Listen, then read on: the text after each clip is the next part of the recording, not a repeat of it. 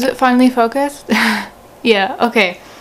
We're starting this vlog off kind of pissy. So basically I filmed a nice clip of me updating earlier today with my nice bookshelves with the nice lighting so then the thumbnail doesn't look too yellow.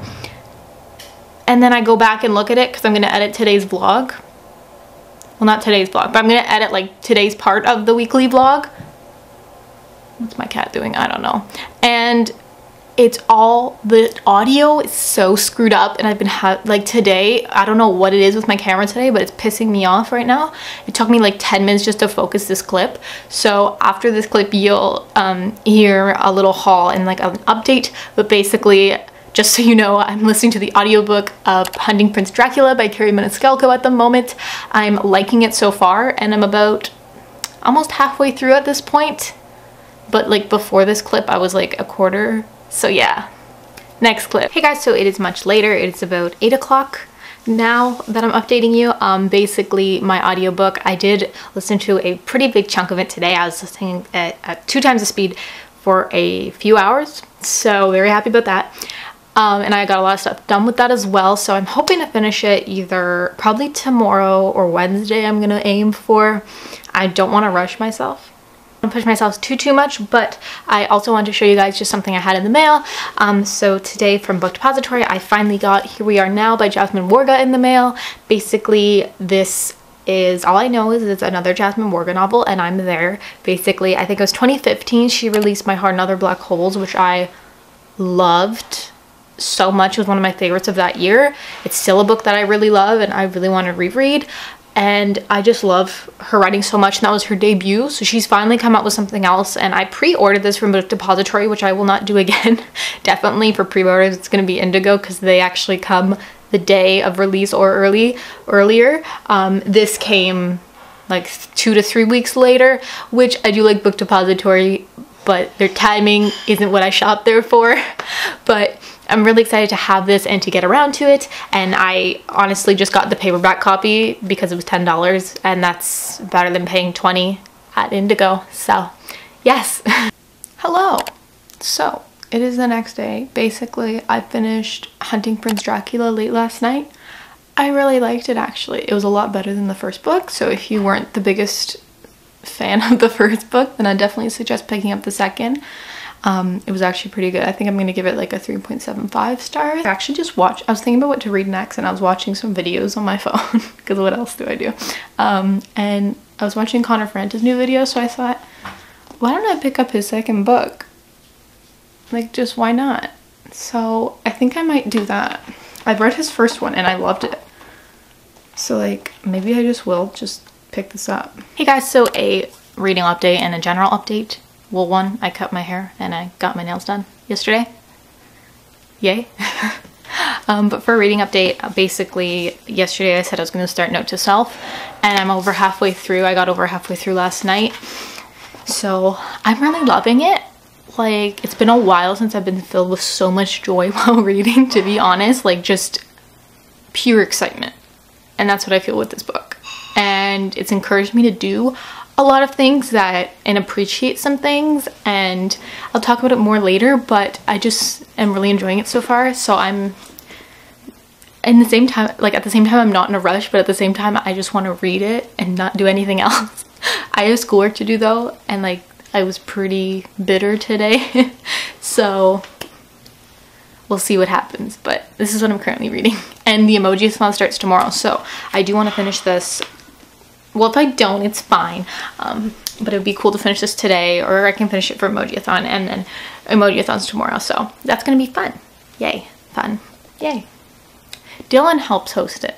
I love Dylan. He's such a boo. It was actually the Emojiathon so I'm, I'm participating. It's fun. I'm excited about it. Um, I actually ended up finishing Note to Self today by Connor Franta I can't tell you how much I enjoyed this his other book I read too, A Work in Progress, but this one was so amazing. Like the other one was too. I give the other one five stars, oddly enough, because um, I never give books five stars.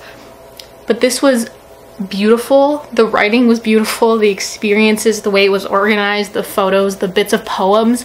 I think it, it by far is the best YouTube memoir. Just it's it's in like my top few like best memoirs I've ever read kind of thing, like autobiography, whatever. Um, because he is only like 24 or something, so he is still really young, but you know, I liked reading this and seeing his experiences. It was beautiful. It encouraged me to act on some things and to do some things. So just in my personal life regarding friends, family, stuff like that. So this made me really happy. I give five stars. I'm really happy about it, guys you should read it. So I'm gonna use this for the challenge of read a book with, um, read for 30 minutes without touching your phone. So that one's down. The other one is, oh, read a book that features travel because he does talk about traveling and there is some like travel photography in here. So I'm counting that. So yeah, that's what the, that, So this book applied two challenges. So that's good. And then for my current read, I'm actually currently listening to the audiobook of The Smell of Other People's Houses by Bonnie Sue Hitchcock. I'm gonna use this for the Fa La La La audiobook challenge. Um, and then I'm, I don't know what else I'm gonna use it for. If I can fit, yeah, if I can fit it into anything else, um, I will. But yeah, so, so far I'm about an hour in and I have about five hours left. So that's because I'm, well, I'm listening to it double speed. So I have like two and a half hours left. But yeah, so far it's kind of weird, but we'll see where it goes. And it's actually like different narrators, which I've never listened to an audiobook that had more than one narrator, which is kind of weird, but I haven't. So let, I'm going to see how, where this story goes, but I'm super happy about this book.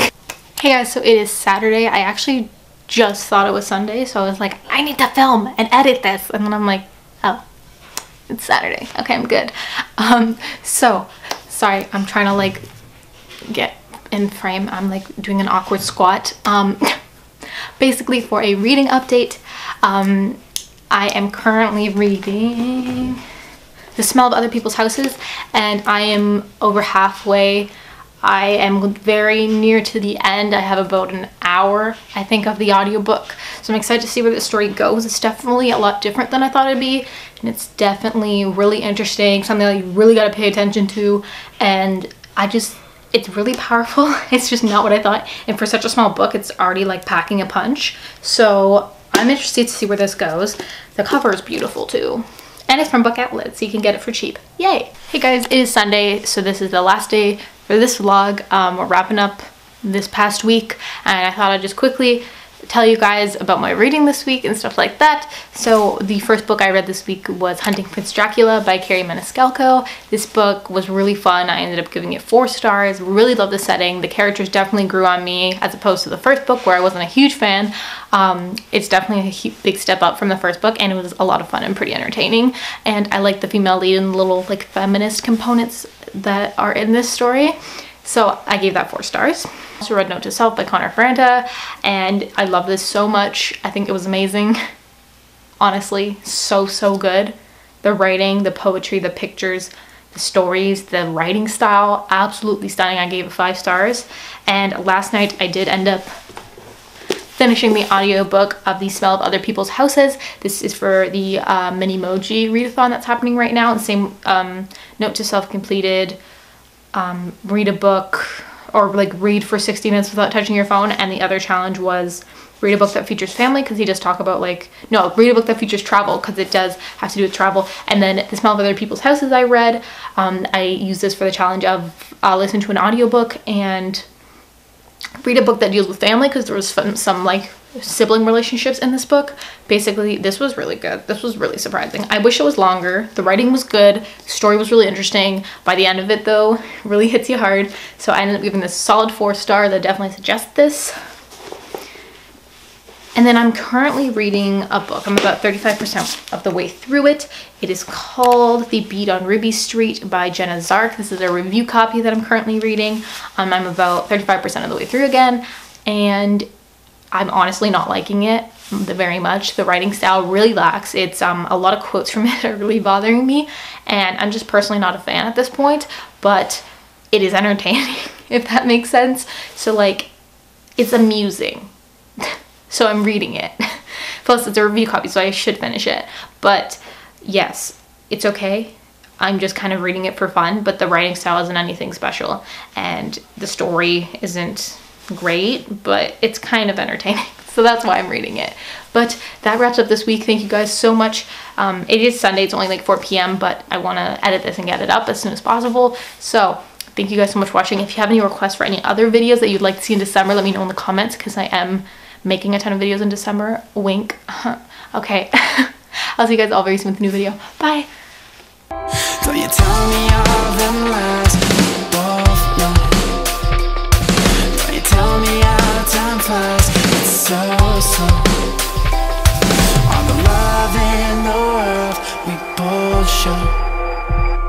But when it comes to something real We both